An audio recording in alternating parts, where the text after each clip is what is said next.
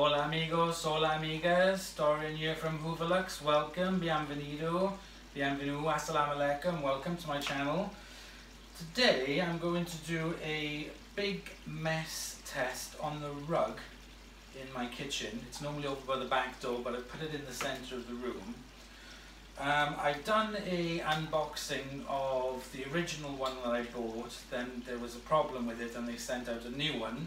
So I've done the unboxing of this one and a quick demonstration on the hard floors. But I haven't actually done a proper demonstration on the on, on rugs because it also cleans rugs as well as hard floors. So I'm going to do a big mess test on this rug on the floor. I have my Sebo here because I'm going to use this to thoroughly vacuum it, then add the mess to it of different things that I have around the house and things that you would drop on your, on your floor or on a rug. And then we will do a demonstration on how to use it and how to clean it. So I'm just going to vacuum the rug in front of me. There goes Zach.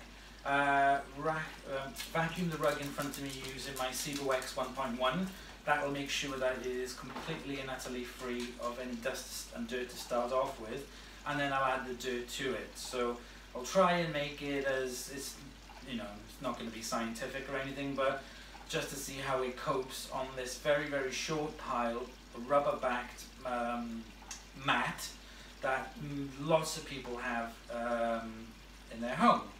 Now first off I will say that this rug is kind of big um, as you can see. And it doesn't have any issues with it being sucked up with the um, the suction if you understand what I mean. There's one mat exactly like this by the back door and that is a smaller mat. And whenever I use this on there it has this a lot of suction on there and it sucks the mat up and cuts the power off. So it's not very good for using on this on these small rubber backed mats because um, the suction on it will lift it up because it's not stuck down obviously. There's no air getting through the rug because it's rubber backed. Then it just sticks to it and it, it doesn't wash it very well. But on these bigger rugs that are heavier and um, you know they're weighty enough that they don't move around it works really really well on it I will say that.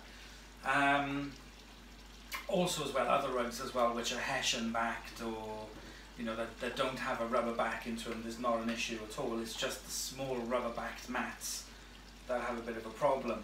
So anyway so I'm going to do my demonstration on this video. I'm going to vacuum up first all the mess and we'll take it from there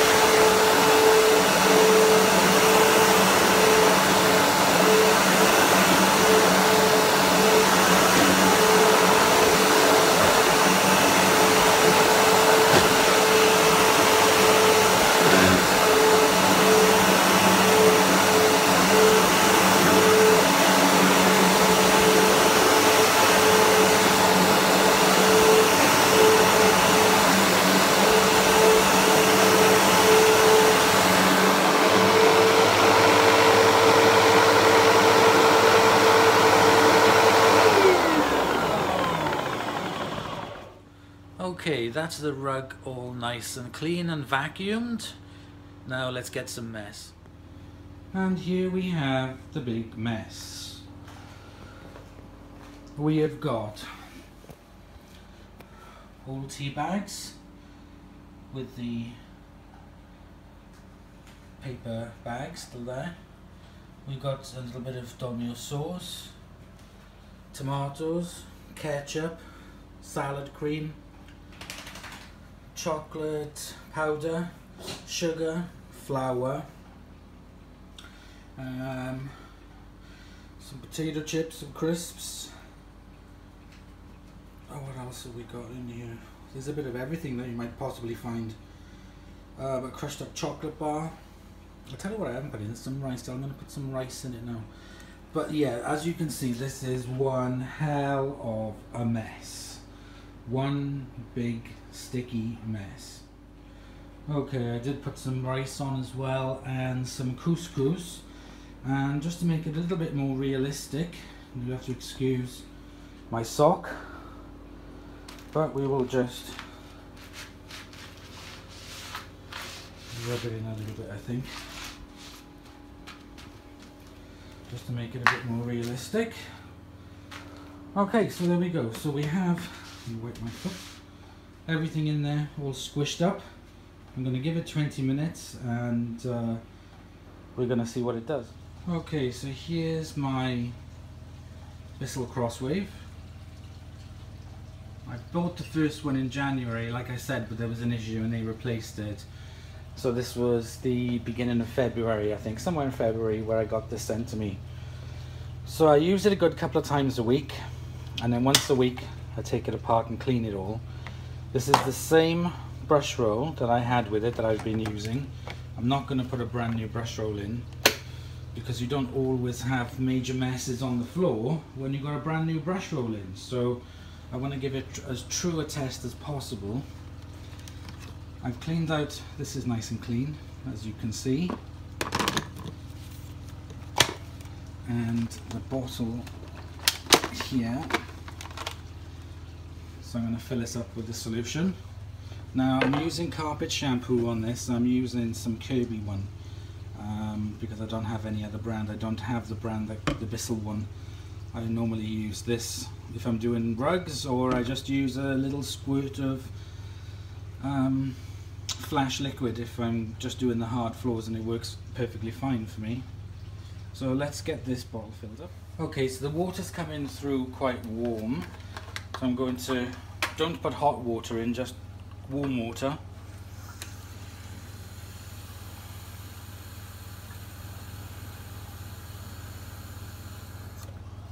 Now I filled it up to almost a formula mark because this Kirby stuff does not need much um, liquid in it, just needs a little bit. So I'm just going to measure it out. So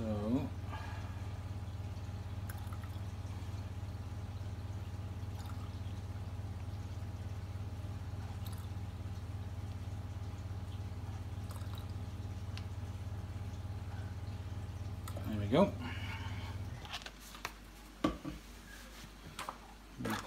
On. I'm just going to gently make sure the liquid solution is all mixed together and I'm going to pop it now in the back of the machine. Okay, so I've taken the cord off the cord hook and plugged it in. I'm just going to insert the bottle into the back and click it in.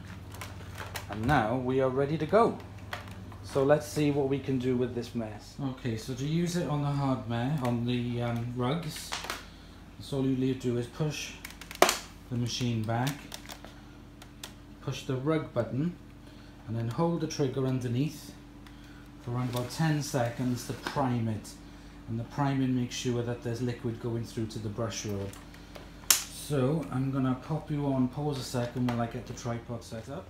So for this I'm going to prime the machine, switch it on, prime the machine and just do one pass through the center forward and back.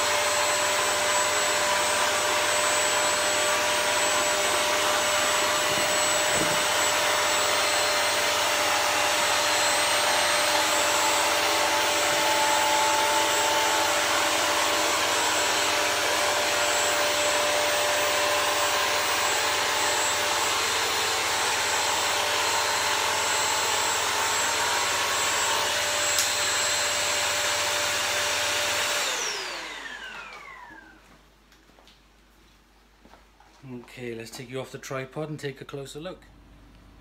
Okay, so it's picked up all the large debris that it passed. It didn't scatter anything. I did miss that little bit of tomato at the end, but it picked up all the larger pieces of debris. And as you can see, it's still stained because of the tea and everything. So, and, and there was water on there as well. So that was just one pass. And that is a very bad squished in mess. So what I'm going to do, I'm going to go back and forth over the same patch a few times. Just going back and forth to see how we can get on with these things.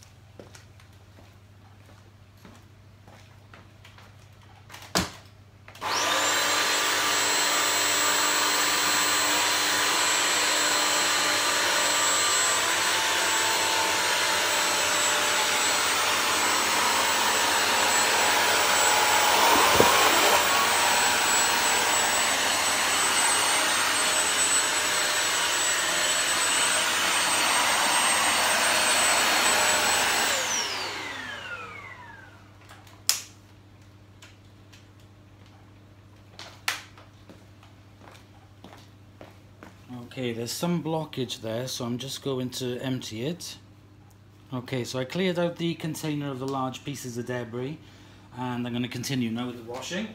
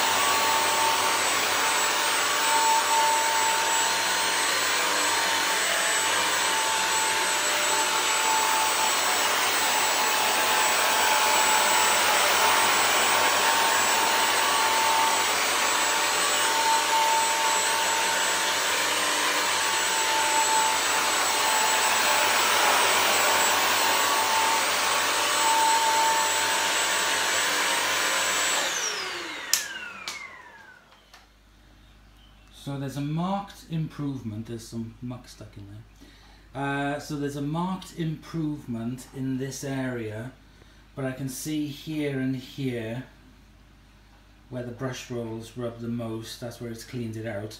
So to get a true thing of it, I'd have to completely clean the whole of the rug and then see where we go because it is definitely cleaner in these parts here but there's definitely a line down the center and towards the edges where you can clearly see the stains. So what I'm going to do now is I'm going to clean the rest of the rug. I may stop in between to empty the tank, but um, I will continue to pick up the rest of the mess.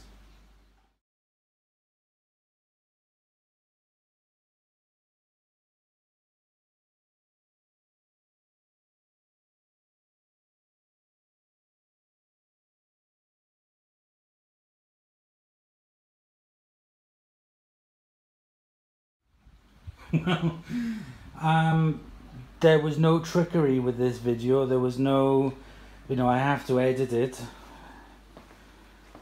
But there's no trickery. And that looks, I mean, I can see, looking at the camera, I can see a couple of stains, possibly the ketchup stains. But considering what was on it, and I emptied it once, no, I haven't emptied it yet. When I finish that video, I still haven't emptied it. It's still got all the bits in there, which we'll have a look at now. But that is pretty bloody impressive, I have to say. It's, it's incredible.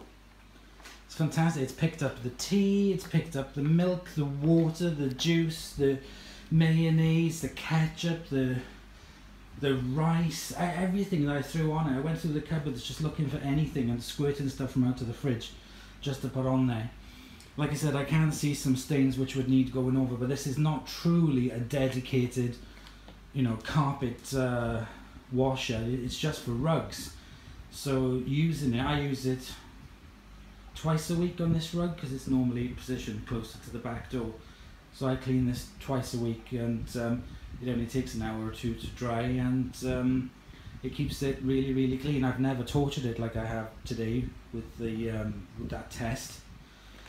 But uh, yeah, I'm very very impressed with that. That is really good. I've never put it through such a, a test on um, on on uh, rugs before, with so much mess, and um, I'm really impressed. So what we're going to do now is have a look and see what's inside.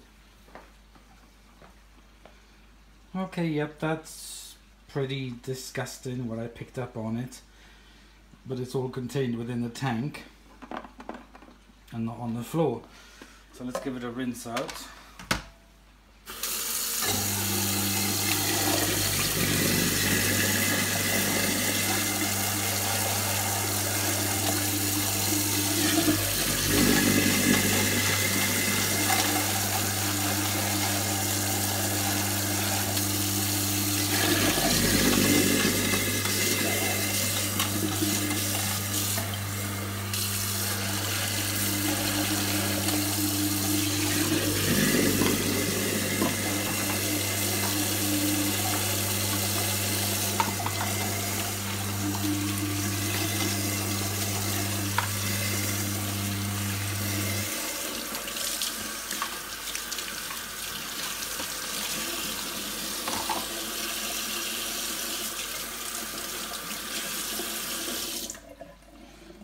Go, that's that rinsed out. I will give her a more thorough cleaning. But yes, cleaned out all the rubbish. I'll probably have to get the um, scrubby brush to do my sink again. So I'm just going to rinse out the head.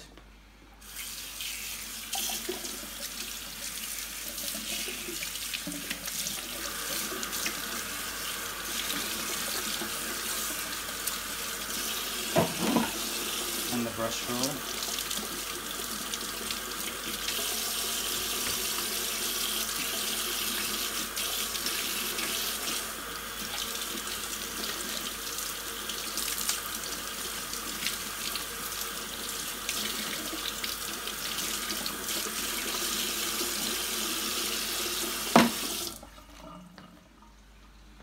Okay, so I've cleaned all the parts to it. So what I'm going to do now, I'm going to reassemble it.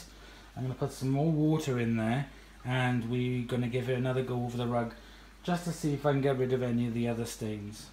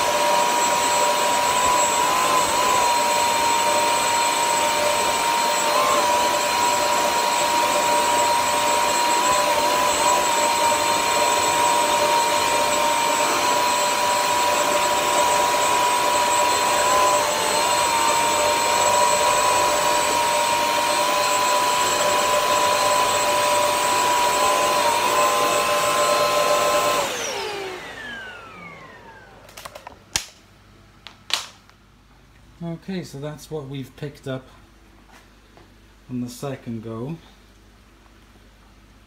Still a lot of muck that was left in the carpet and some ingrained bits as you can see. So there we go, time to clean it all away. I'm going to empty that and I'm going to finish off doing the hard floor or the laminate flooring.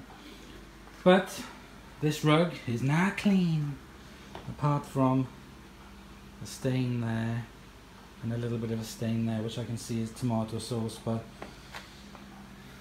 that did a blooming good job I think for uh, for the Bissell Crosswave. That was definitely a success. So I can recommend it on rugs. I mean this was a bit of an extreme test. Your rugs aren't going to get that dirty but if you keep them maintained regularly then they'll stay as clean as this one always has. So you know by going over it quickly twice a week once a week it'll definitely keep this rug clean and tidy and away from you know it's no bad smells no nothing at all. So thank you very much for watching. I hope you've enjoyed that bit of a mess test. I don't particularly like doing dusty mess tests but this one was pretty not as messy. So thank you very much for watching and I hope you enjoyed please subscribe like comment let me know what you think. And until I see you again very soon for the next video thank you very much for watching. Bye bye